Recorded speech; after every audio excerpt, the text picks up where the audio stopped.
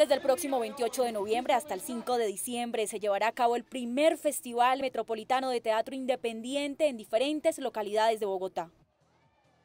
Este festival eh, comienza en el Teatro Servitá.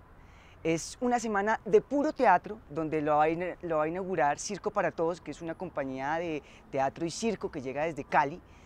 Em, lo va a inaugurar eh, y va a haber grupos que se presentan desde Argentina, Perú, eh, posiblemente Medellín, y es una semana donde, donde hay música, donde vamos a contar con la media torta, donde va a haber conciertos de, de todo tipo. El propósito es darles la oportunidad a niños y jóvenes de distintos barrios en situación de pobreza para que conozcan de cerca el mundo del teatro y la cultura en general.